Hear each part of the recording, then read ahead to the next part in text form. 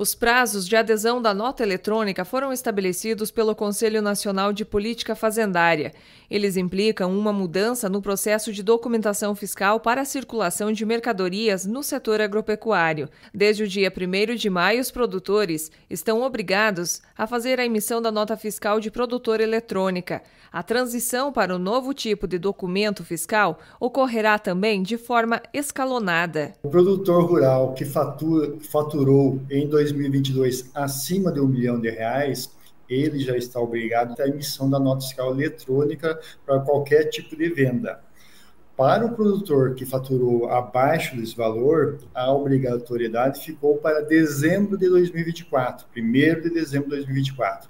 Então, são situações distintas. O produtor tem que ver quanto ele faturou no CPF dele para ver o que, ele tem que fazer nesse momento. O técnico do Departamento Jurídico do Sistema FAEP Senar Paraná explica que o produtor rural pode emitir a nota fiscal de duas formas. Pelo sistema da Receita PR, então ele tem que entrar no computador, é, acessar a internet, acessar o site da Receita Paraná. Nesse caso, ele tem que pedir uma autorização, fazer uma adesão ao, ao, ao site da Receita, é, registrar, reconhecer a assinatura, levar na Receita Estadual, pedir liberação para utilizar esse sistema. Mais demorado, mais chato. Mas ele emite, só que ele tem que ter o um computador depois para emitir. Esse sistema é, tem uma vantagem nesse momento, para quem não está obrigado ainda a emitir, que ali você pode fazer a simulação da emissão da nota fiscal do produtor. Então, o produtor pega a nota de papel dele que ele já emitiu, ele vai testar ali no, no, no, site da Receita e verificar se vai dar algum erro ou qual é a dificuldade dele na emissão da nota fiscal pelo sistema Receita PR. A outra forma de emitir é o aplicativo Nota Fiscal Fácil pelo celular. Tem que baixar o aplicativo, é, tem que ter cadastrar a senha Gov e ali ele vai começar a mexer. E o aplicativo não tem a funcionalidade de você fazer a simulação. Então, emitiu, já vai estar gerando uma nota fiscal. Eu, na minha opinião, o aplicativo para o produtor rural é mais fácil, mais prático. O aplicativo ele pode utilizar na propriedade mesmo sem ter sinal de internet, ele, ele gera a nota fiscal e quando tiver internet a nota vai ser emitida para o sistema da Receita. O aplicativo ele consegue cadastrar todas as propriedades, todos os produtos, todos os clientes dele e fica armazenado.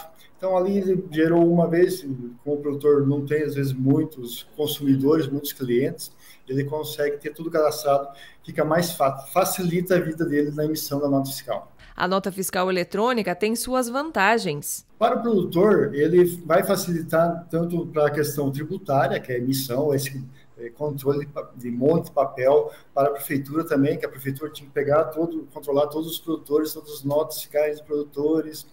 É, facilita, vai facilitar para o produtor quando ele for o segurado especial obter o benefício da previdência social da aposentadoria. Né? Então, essa nota já vai estar no sistema, o produtor não vai ter que ficar guardando 15 anos de nota fiscal para obter o benefício. Então, o INSS já vai ter essa informação também daqui a um tempo, quando ele for requerer aposentadoria também. O debate da implantação da nota fiscal eletrônica começou em 2005. Agora não tem jeito. O produtor precisa se adequar para utilizar o novo modelo de emissão da nota fiscal. Desde o dia 1 de janeiro de 2021, os produtores com faturamento anual superior a 200 mil já estavam obrigados a utilizar a nota fiscal eletrônica em operações interestaduais.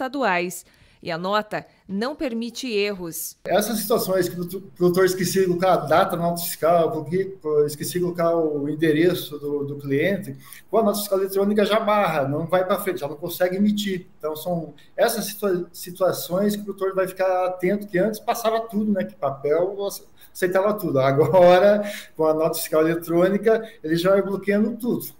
Tá? Então, esqueceu alguma coisinha, ela não vai para frente se você não completar a informação. Então, por isso que eu, eu peço. Entre no sistema, faz simulação, faz o teste, vê se está tudo ok, está tudo redondinho com as suas notas fiscais. E caso ocorra algum problema. Tendo problema, tendo dúvidas, pode gerar algum problema. Ah, eu simulei aqui na minha nota fiscal eletrônica e está dando ICMS, ou não está aparecendo, está sendo rejeitado, alguma coisa assim.